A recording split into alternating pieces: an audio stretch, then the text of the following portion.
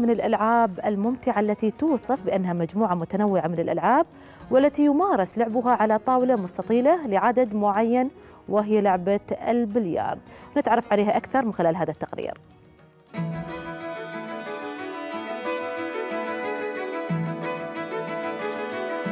لعبة البلياردو وتعرف أيضا باسم رياضة العصا. هي مجموعة متنوعة من الألعاب تلعب بالعصا لضرب مجموعة من الكرات وتحريكها على طاولة مغطاة بالقماش.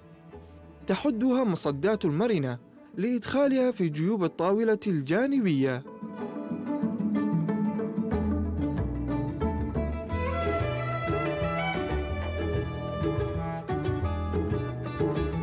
يتطلب اللعب إحساسا حركيا جيدا ومناسبا لظروف اللعبة. ويلعب كل لاعب حسب دوره دون تأثير الخصم. ويحاول كل لاعب إنزال أكبر عدد من الكرات في الثقوب المحيطة بالسطح ما عدا الكرة السوداء.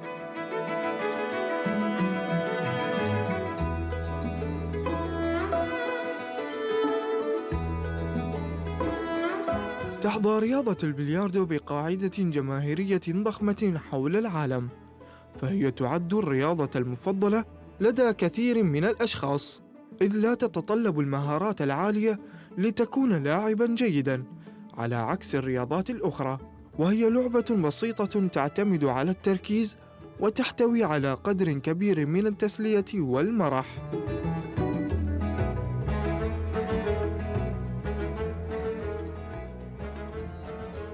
رجعنا لكم مشاهدينا بعد ما شفنا هذا التقرير المتعلق بلعبة البلياردو. إذا مشاهدينا تؤدي المؤسسات الأكاديمية دورا مهما ورافدا جديدا للمواهب والكفاءات في الدولة وأيضا المساهمة في تنويع مصادر الاستثمار سواء كان التنموي أو حتى الاقتصادي مما يؤدي إلى تطوير اقتصاد قائم على المعرفة وتزويد الأجيال الجديدة من القادة والمهنيين بالأدوات اللازمة للاستعداد للمستقبل.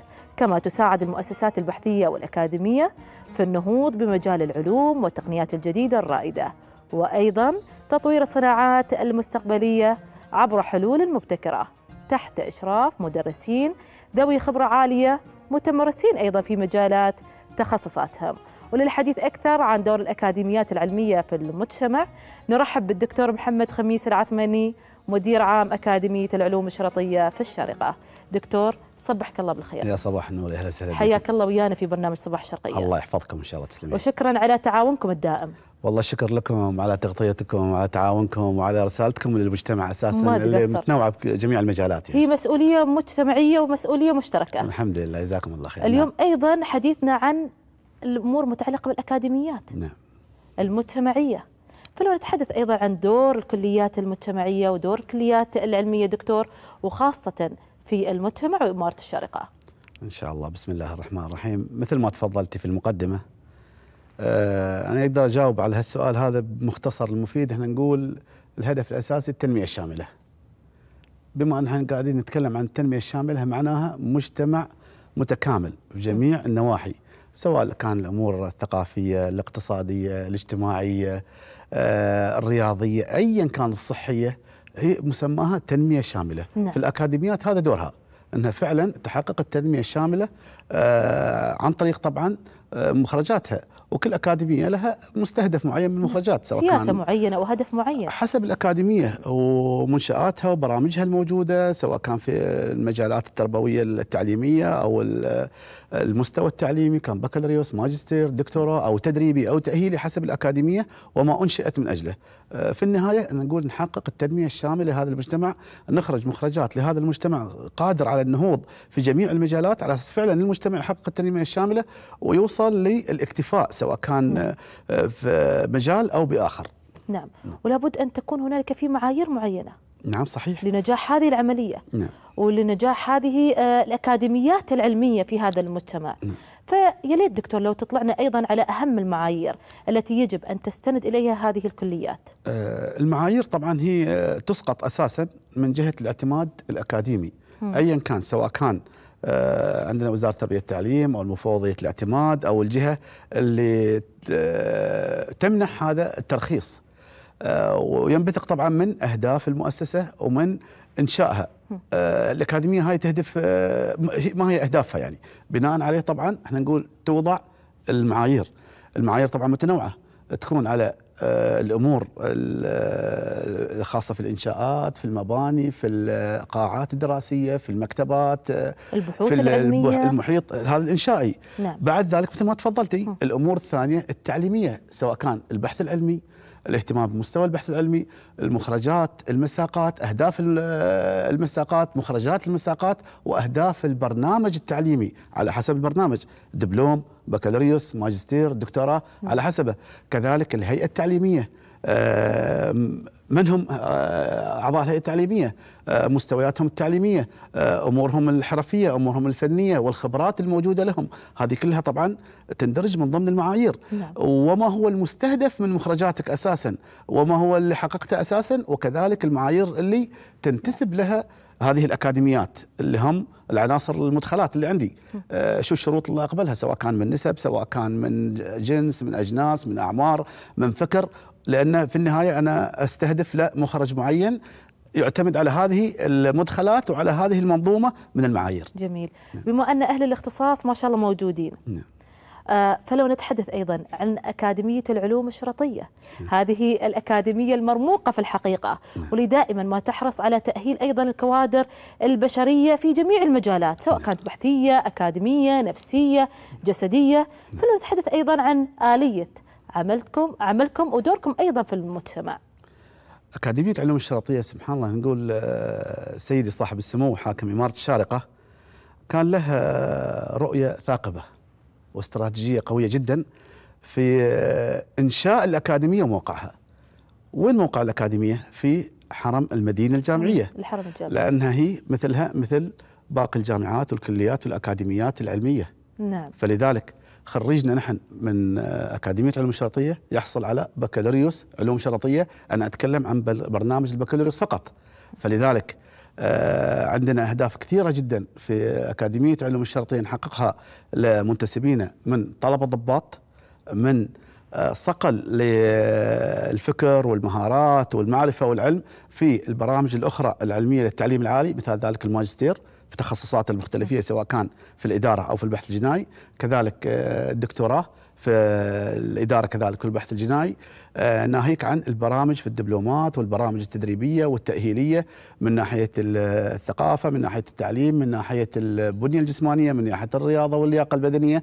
لأن المخرجات في النهاية للأمن. نعم. فالمخرجات لابد أنها تتلائم مع ما هو متطلب على أرض الواقع بحيث أن فعلا تكون المخرجات قادرة على مواجهة التحديات الموجودة وما هو أهلت له. صحيح. نعم. وأكيد دورها المجتمعي دور كبير. نعم. أي م- مؤسسة لابد أن يكون لها دور مجتمعي. فلذلك نحن عندنا دور مجتمعي كبير جدا. لابد أن إحنا نكون قادرين على أن نساهم مثل ما قلنا في البداية في التنمية الشاملة. التنمية الشامله تجي في العلم. فلذلك جميع ال- الأمور البرامج اللي موجودة عندنا في الأكاديمية تساهم أساسا في صقل المعرفة والشخصية والقيادة والفكر. بما هذا ينعكس طبعا على المجتمع. صحيح. لنا دور كبير جدا في البحوث. عندنا بحوث موجودة في الأكاديمية. آه، نبحث الظواهر. آه، بعض السلوكيات. بعض الأمور اللي متطلب من ان فعلا نبحثها على أساس نخرج بمخرجات في هذا البحث فيها توصيات تساهم أي إدارة كانت موجودة عفوا عسكرية أو مدنية في آه، رفع من شأنها أو من مخرجاتها نعم. آه، لنا كذلك أمور مجتمعية كذلك في التوعية في التنشئة في عندنا في البحوث مثل ما تفضلت عفوا حتى في لنا شراكة مع القيادة قيادة العام الشرطه الشارقة في أصدقاء الشرطة وصقل مهاراتهم وتدريبهم وتأهيلهم آه، عندنا في الندوات والمشاركة في أمور كثيرة جدا مع باقي آه، طبعا المؤسسات آه، الموجودة في المجتمع آه، لتتكامل المنظومة.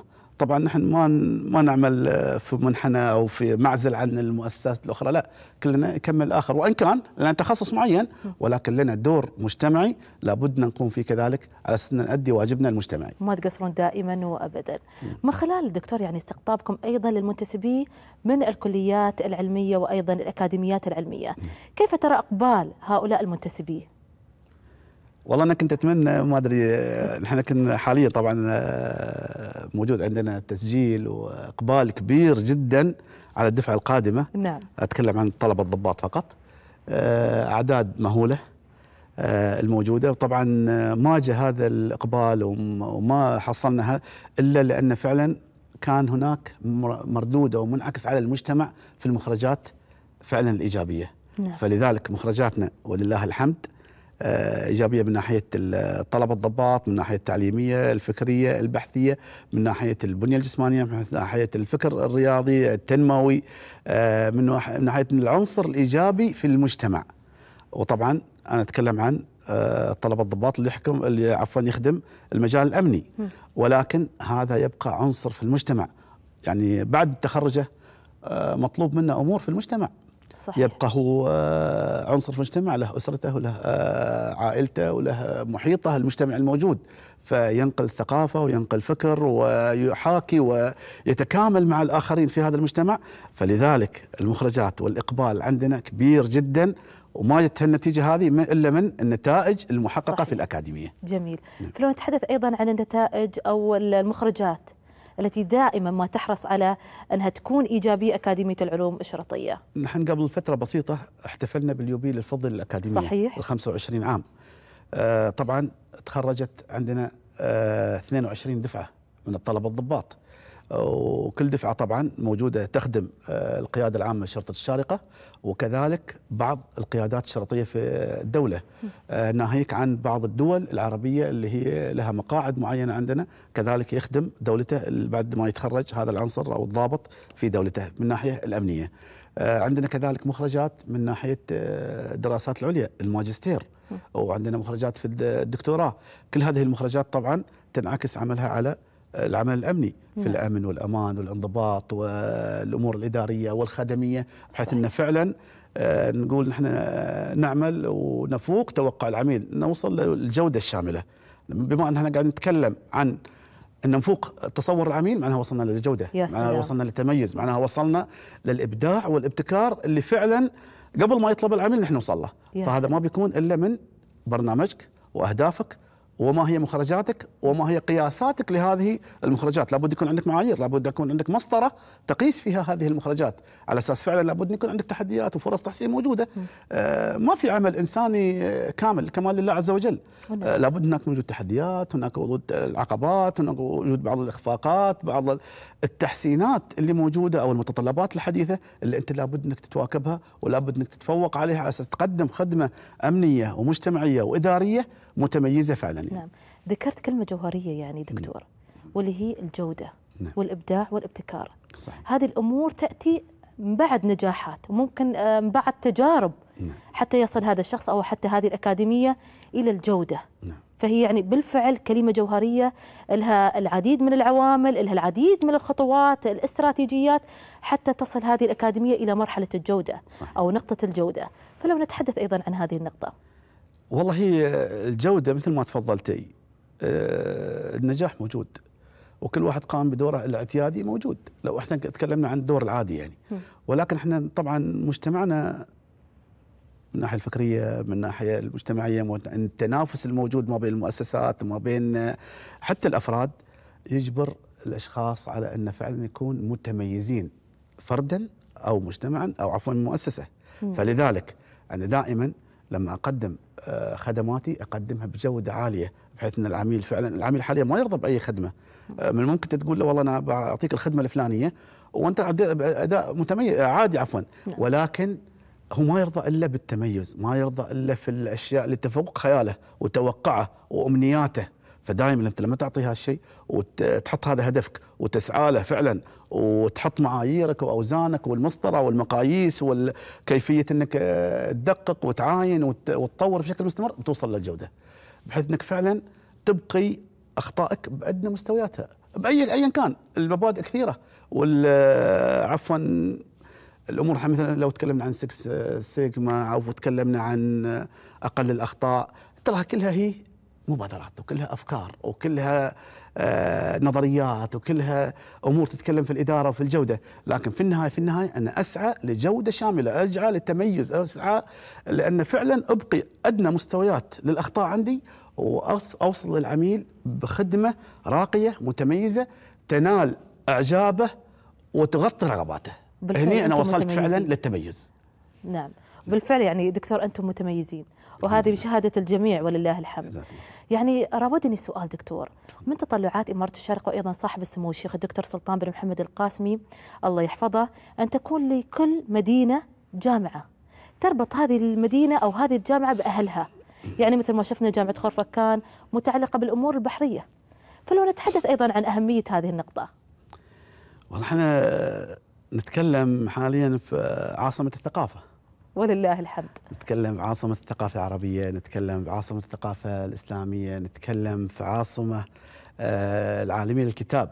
يعني آه، فعلا آه، إمارتنا ولله الحمد في قيادة سيدي صاحب السمو حاكم الإمارة دعم كبير جدا للعلم والثقافة والتعلم. فلذلك سموه دائم يركز على التعلم وعلى الثقافة. وعلى كيفية تطوير الفكر الإنساني مثل ما قلنا لتحقيق التنمية الشاملة. وهذا هدفه الأساسي سموه آه، فلذلك التحصيل دائم مهتم في الأكاديميات في الجامعات في المسرح في الفن في كل الأمور. صحيح. على أساس إنه يرتقي بالفكر، يرتقي بالتعلم، يرتقي بالتعليم بكيفية إن البحث العلمي يصل لتحقيق التنمية الشاملة. وهذا هدف سامي جدا يسعى له وطبعا هالهدف ما بيتحقق بين ليله وضحاها يحتاج آه، لحقب وسنوات صحيح. كثيرة جدا وهذا ما يسعى له جزاه الله ألف خير سموه يعني فلذلك حتى الجامعات اللي افتتحت في الأخيرة مثل ما تفضلتي سواء كان في خرفكان سواء كان في كلباء أو ما. هو مستهدف في الذيد أو الوسط أو ايا كان آه، هناك رؤية ثاقبة آه، وتم التصريح بها كذلك على حسب المعطيات على حسب البيئة على حسب ما هي الاحتياجات المجتمعية للمحيط القريب. آه، لو تكلمت عن خرفكان مثال ذلك العلوم البحرية مثال نعم. ذلك العلوم البحرية لأنها المجتمع القريب. آه، الوسطى مثلا الأمور الزراعية، الأمور الحيوانية وما إلى ذلك، آه، في كلباء الأمور اللي فيها التاريخ وفيها العلم وفيها الهندسة، على حسب احتياج على حسب البيئة على حسب المعطيات على حسب كذا. فسموه له نظرة ثاقبة في الأمور كذلك. هو طبعا دائما سموه يهتم في الإنسان والأسرة. طبعا هنا ما ما بنقدر نستنبط هالهدف هذا إلا بعد ما آه، نستشرف بعد ما ندخل هالمدخلات هذه والمخرجات وتعييناتها وين بتكون؟ في المحيط القريب صحيح معناها أنا كونت أسرة مترابطة، أسرة متواجدة، أسرة آه، قريبة سواء كان من الأم أو من الأب أو من الأبناء يكونوا مع بعضهم البعض. يعني أنا أذكر آه، سموة قبل فترة طويلة طبعا. كنت أتحاور مع أحد القادة فقال لي أنا طلبت من سموة أن نسوي سكن لا أفراد الشرطة في آه، أماكن العمل. فشو كان رد سموه؟ كان رده أنا اللي اتمناه أنه يكون كل أب مع أبنائه يوميا. فلذلك الطرق اللي شقت هذه المشاريع الضخمة اللي صارت هذه الميزانيات الضخمة اللي رصدت التعليم والجامعات مثل ما تفضلتي والكليات المتنوعة اللي هي تحاكي ما هو موجود على أرض الواقع عند كل مدينة معطيات كل مدينة صحيح. تضاريس كل مدينة آه، احتياجات كل مدينة كل هذا يخدم هالهدف. وفي النهاية نرجع نقول تحقيق تنمية شاملة والنهوض في مستوى الإنسان الفكري والعقلي والمجتمعي بحيث إنه يكون فعلا مجتمع مستقر مجتمع إحنا ما نقول المثالية ولكن مست... مجتمع فعلا قادر على إنه يحصل الرفاهيه لو تحققت له هالعلم مو بأي علم مو بأي علم. آه، دائما العلم النافع هو اللي يحقق هالأمور. العلم الإيجابي آه، البحث العلمي آه، الناقد الإيجابي البحث العلمي المطور. مو بأي علم. هناك مقولة أتذكرها طبعا آه، حتى عن سيدي صاحب السمو لما يقول عن العلم إن الأفضل إن الواحد ياخذ آه، آه، العلم النافع مو بعفونة الأفكار. هذه. مستقطعة طبعا هذه الجملة مستقطعة مو بعفونه الأفكار لأن مو بأي كاتب تأخذ من عنده مو بأي عفوا اسمحي لي إدارة أو علم أو فكرة تاخذ- تستقي من عنده العلم نعم. الا العلم الإيجابي العلم النافع العلم اللي فعلا يصنع إنسان إيجابي إنسان متحفز قادر إنه يبني. هني أنا أقول فعلا هذه المؤسسة الأكاديمية أو التعليمية أدت مستواها التعليمي وأهدافها الخاصة وأدت مستواها وواجبها أساسا من ناحية المجتمع اللي هي تعتبر جزء منه. نعم. ممكن إجابتك تقودني إلى سؤال. تفضل. البيئة أساسية لجذب الطالب ولا بد أن تكون هنالك أيضا معايير معينة. صحيح. لخلق هذه البيئة بيئة إيجابية ذو نفع إيجابي. فلو نتحدث أيضا عن دور البيئة وجذبها للمنتسبين وخاصة الطلاب. هذا طبعا بيرجع على حتى سؤالك السابق اللي هو قلت أنت عنه كيفية الإقبال على الأكاديمية. نعم. فعلا البيئة هي المحفزة. وهي الطاردة بنفس الوقت لو كانت سلبية. نعم فلذلك البيئة الإيجابية اللي موجودة في الأكاديميات أو في الجامعات أو في المعاهد هي اللي تخلي فعلا آه، العنصر هذا يتمنى أن ينتسب لهذه الأكاديمية من ناحية آه، البرامج التعليمية الموجودة، من ناحية المرافق الموجودة، من ناحية آه، الأسرة اللي موجودة التعليمية والإدارية والقوانين الموجودة والأنظمة الموجودة والمتابعة والاهتمام بهذا الطالب ايا كان مستواه آه، دبلوم تأسيسي تدريبي آه، بكالوريوس ماجستير دكتور ايا كان فكل المعطيات هذه أو البيئة هذه كانت إيجابية ومتكاملة صحيح. وموجودة فعلا بتحصلي هناك إقبال وهناك مخرجات نجاحات. إيجابية صحيح. ونجاحات تحقق بشكل تميز نعم. والعكس صحيح البيئة الطاردة تجعل الناس فعلا ينفرون. ينفر من هذه البيئة لأنها فعلا بيئة واساسا مخرجاتها حتى غير مضمونة. آه ولما تدخل هالبيئة منفرة. فكيف أنت بتعطي؟ كيف أنت نعم. بتنتج كيف تبدع أساسا؟ كيف فعلا بتكمل وأنت محبط؟ نعم استمتعنا جدا بالحوار معك. الله يحفظك دكتور. محمد خميس العثماني مدير عام أكاديمية العلوم الشرطية. يعطيك العافية. الله وكل. الشكر على تواجدك اليوم ويانا في برنامج صباح الشرقية. وإعطائنا هذه المعلومات العلمية المتعلقة بأيضا الأكاديميات العلمية ودورها في المجتمع. واجبنا وجزاكم الله ألف خير. شكر آه، لكم جزاكم الله ألف خير على دائما وأبدا. دوركم البارز ودوركم فعلا الإيجابي الكل يشهد به. وألف شكر ما. تقصر. إذا مشاهدينا بعد هذه الجعبة المليئة بالتقارير المميزة والضيوف الكرام للأسف وصلنا لختام حلقتنا. على أمل لقاء بكم يوم غد بحلقة وموضوعات جديدة. إلى ذلك الحين تقبلوا تحياتنا عائشة الأنصاري وتحيات جميع طاقم العمل. مع السلامة.